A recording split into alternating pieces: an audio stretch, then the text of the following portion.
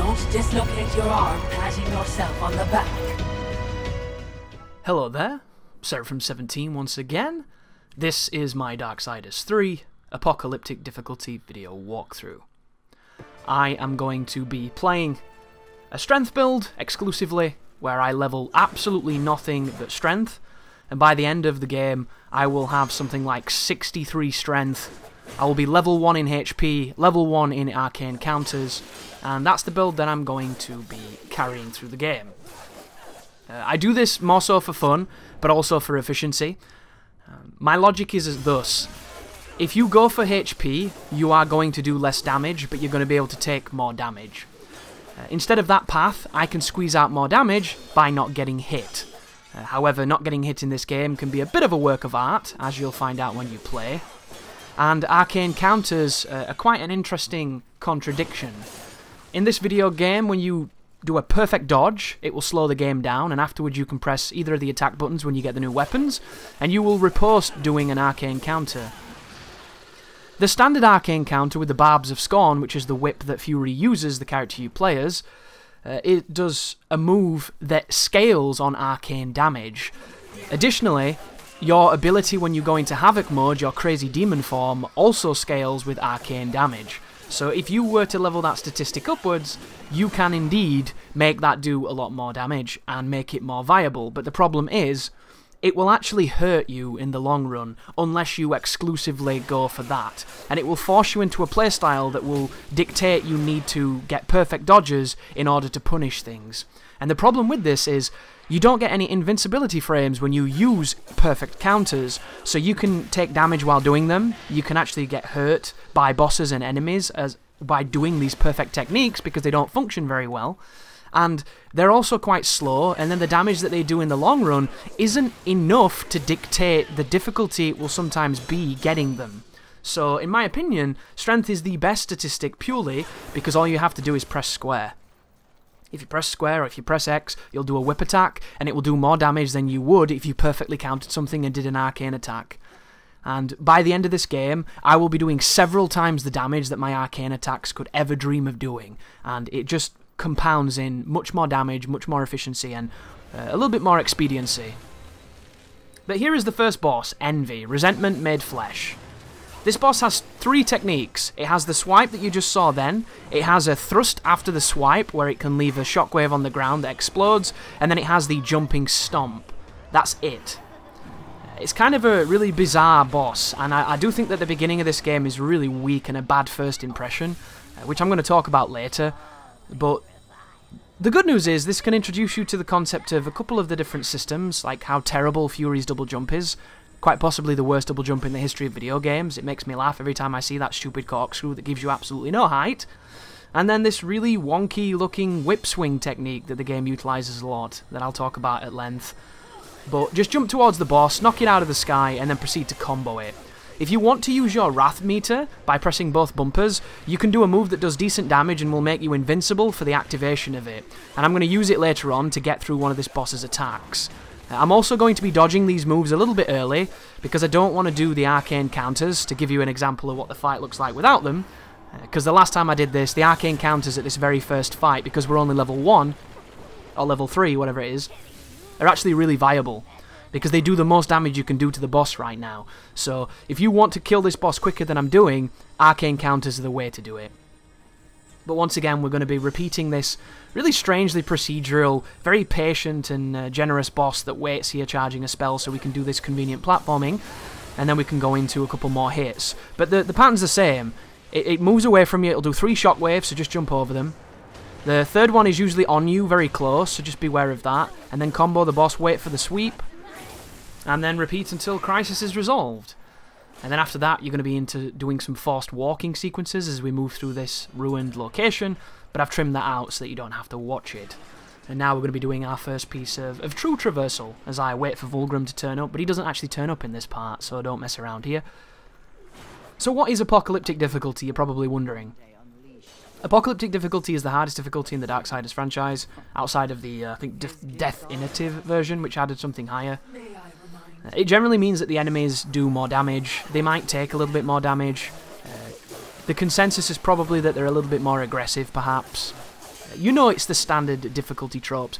I don't really spot too much that feels unique to this difficulty, in spite of the fact I've only played on Apocalyptic. But it seems like the standard difficulty, right? They do more damage, they uh, take more damage, and that's kind of, and they're a little bit more aggressive, and I think that's your bag. I don't think anything else will be effective. If it is, please feel free to leave a comment, guys, because once again, I, I just didn't notice if the prices in the shop are higher or anything like that, or if there's any new enemies somewhere, or any of those. The, the little nuances that can make a difficulty really interesting that this game just seemingly didn't do. But Apocalyptic is a tough difficulty at the beginning, because at the beginning, Fury is incredibly susceptible to being killed in one to two hits, and then later on as you level her up, she gets a lot more capable and the game kind of evens out a little bit.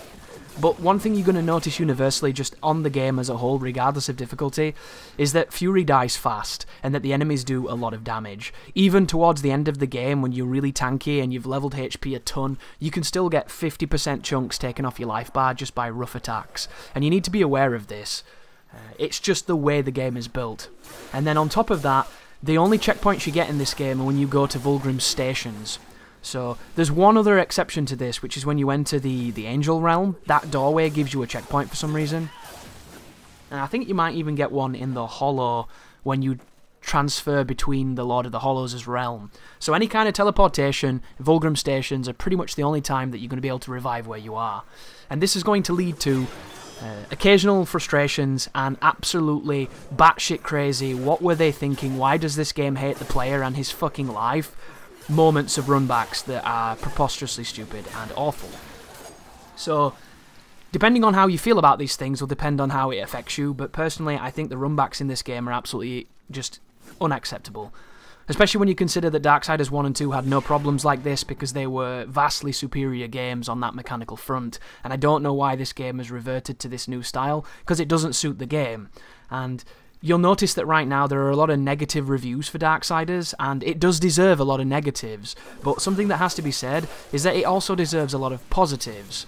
The game kind of vacillates between being good and being shit in equal measure, and as a whole, it's a decent game. It has moments of greatness and it has moments of just tepid frustration. If you can get past this new direction and this new design choice and the fact that the budget in this game and the polish is much lower than the previous two, you can have a lot of fun here. I will remember this game for the fun that I had, but I will always warn people that there were I was pissed off the entire time I was playing it because there's so many things in the game that don't work the way they should and that lead to player frustration that could have easily been changed but weren't doing so because instead they chose to pander to something they never were. And it's an interesting dialogue to have, isn't it? This idea that Darksiders is pandering to a different game because the entire franchise was built off of homaging better games. The first game was essentially a, com a combination of God of War and Zelda, and done in its own styling, and it was really good. I loved Darksiders 1 a lot.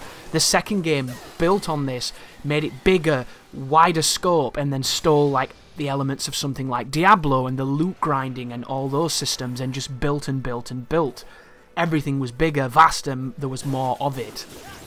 Darksiders has made a name for itself by essentially stealing tech and doing it its own way and making it fun. And this game decides to just completely parrot Dark Souls and it removes all the fucking fun that the Zelda homaging and the God of War homaging gave it. And it makes no sense. It really doesn't because character action games are precise, they're responsive, they're enjoyable, and they make you feel like a badass. Darksiders 1 and 2 had elements of character action lots of iframes, really fast and responsive dodging. The first game had a block that was so fucking good, it hurts my soul that it never came back. It was so good because it enabled you to block cancel and do all kinds of really interesting tech that I loved. You could parry cancel. It was so cool. There was so much complexity to something that was very quite. It was actually rather simple, but it enabled a player to take it that step further. Darksiders 2 became all about the crafting and making weapons that could pretty much make you invincible, and all these insane setups of getting wrath and HP and critical chances, and it just turned it into this almost this number grinding simulator that if you did it correctly, you could be unkillable. And then we come to this game, and the entire game is just cheap shot central from enemies that do incredible damage, a dodge that is so precise it reminds me of the fucking Royal Guard, enemies that have active hitboxes and bad hitboxes that do all kinds of things to hit you, and you don't really have the tools to, to get around it. And it feels bad.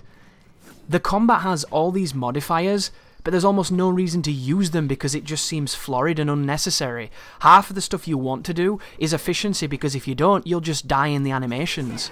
There are enemies in this game that have moves that have such good tracking and such good startup frames that they will just frame advantage everything you do, and it leads you to playing very utilitarian. You go into this Spartan mode of survival because if you don't, you're going to get hit.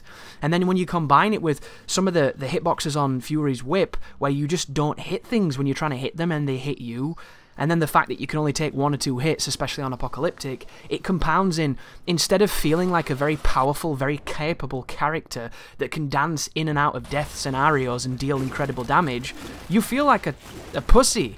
A massive pussy that does no damage, hits things 50 times, and dies in one touch. And it's really cuckolding. And I, I, the, my favourite part was someone on Twitter said to me that Fury's the weakest of the horsemen so her lacking abilities kind of make sense. And all I can think of is when people say things like that, is just this whole idea that if you let the plot dictate how much fun your game is, you're gonna have a bad time. Like, Fury doesn't even have a fucking horse. How the hell can she be a horseman of the apocalypse when there's no horse? You know?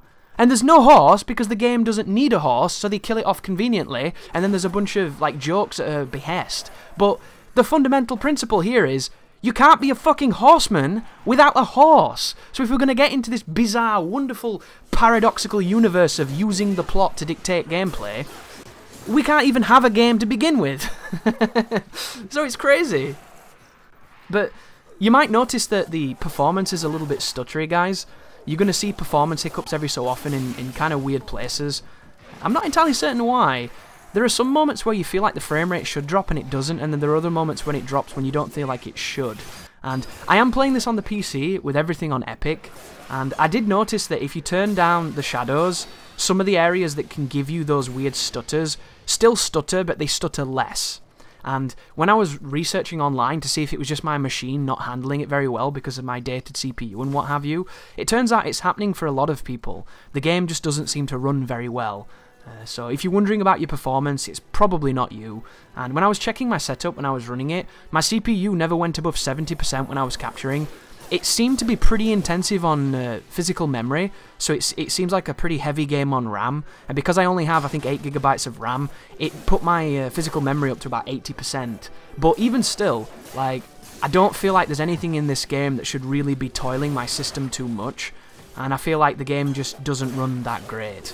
But it never affected gameplay too much.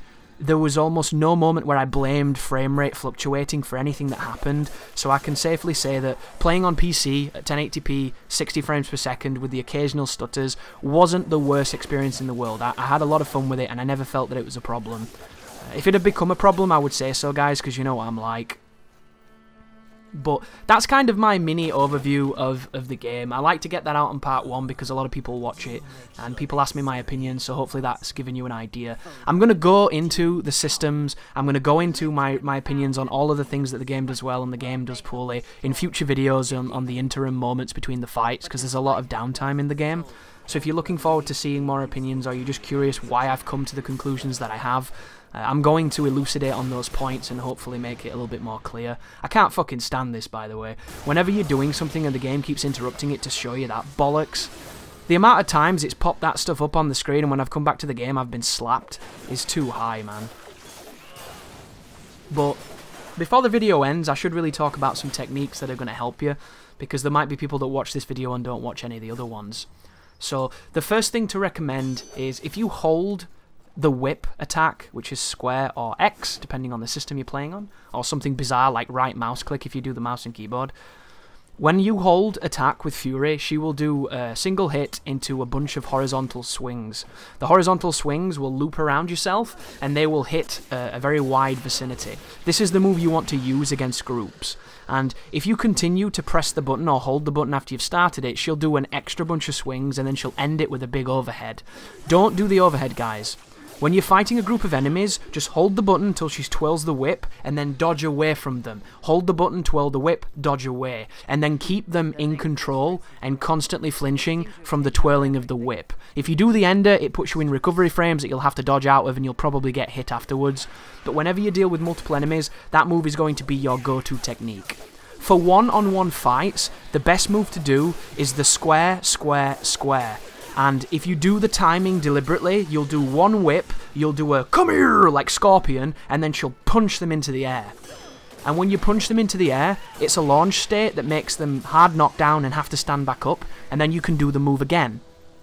And this move is really important, guys, because if you come up against enemies that have hyper armor, which are the most dangerous enemies in the game, they will ignore what you do to them, However, if you hit them when they're vulnerable, pull them towards you and knock them up, you can loop them and continually knock them down, and they'll never get a chance to attack, they'll never get a chance to hyper armor through your moves, and it is a consistent and guaranteed way to kill an enemy that's far stronger than you are.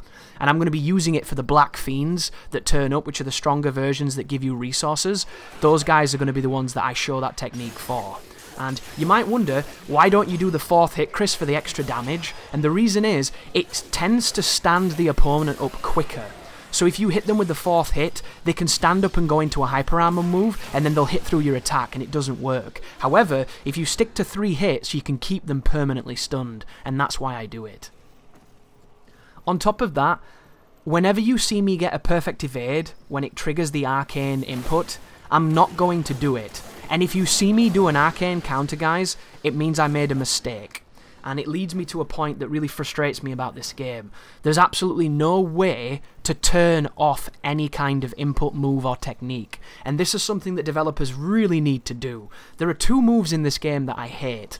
The first one is the arcane attack, because all it does is ruin my damage potential. And then the second one is the dashing whip attack. When you dodge away from somebody and you try to do an attack, she does this overly long, large recovery frame jumping swing that will get you hit. And I wish I could turn it off because there's absolutely no need for it, and you could get two hits in for the time time it takes to do that one hit. It doesn't help, it just gets in the way.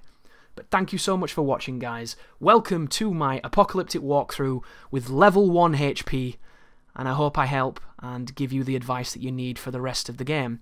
So, you take care now.